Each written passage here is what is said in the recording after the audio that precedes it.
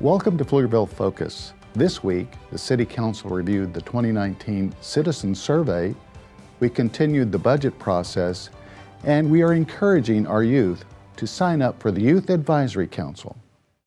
The City of Pflugerville selected Texas State University to conduct the 2019 Citizen Survey to gauge resident satisfaction with the quality of city services, provide feedback on residential desires and trends, and give resident input to set priorities for future goals and policy decisions. The city proudly exceeded benchmarks in several areas satisfaction with employee interaction, safety, neighborhood quality, and overall quality of life garbage and recycling, water and wastewater service, library and recreation programs, and Pflugerville Animal Welfare Services. The top four issues that need most emphasis from city leaders include traffic management, transit system development, jobs and economic development, enhancements to downtown Pflugerville.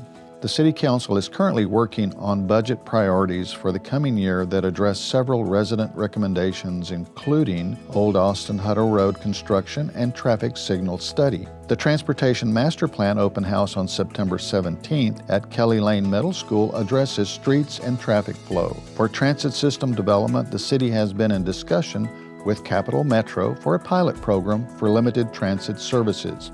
For jobs and economic development, the citywide comprehensive plan and the fiscal impact model and land use analysis provide insight on future corridors and zoning related to growth. In addition, several enhancements to downtown Pflugerville are anticipated as the city implements the Downtown Action Plan and most recently with the opening of the Best Little Plaza in Texas this year. View the entire survey online.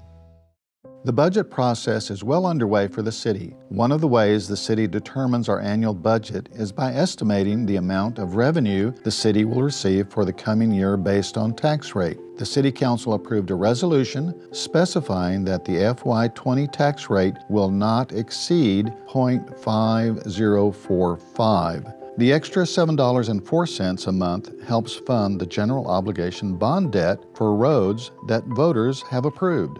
The City Council will hold a public hearing on the budget on September 10, 2019 at 7 p.m. and September 17, 2019 at 6 p.m. The final action, adoption of the tax rate, is scheduled for September 24, 2019. Watch the City Council meetings online.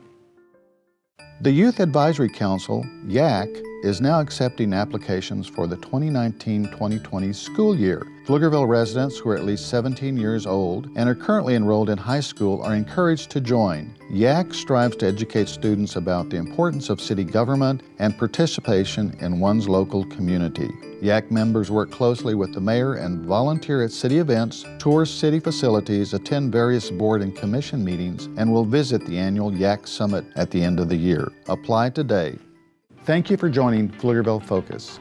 Our next City Council meeting is September 10th. We hope to see you there. Until then, keep watching Pflugerville PF TV.